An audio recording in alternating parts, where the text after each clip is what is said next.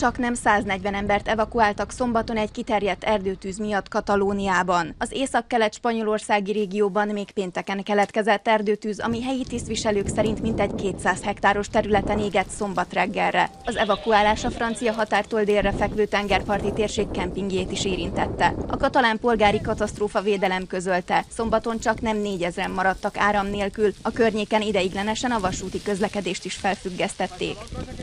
A tűz megfékezésén 66 spanyol és 10 francia tűzoltó dolgozott.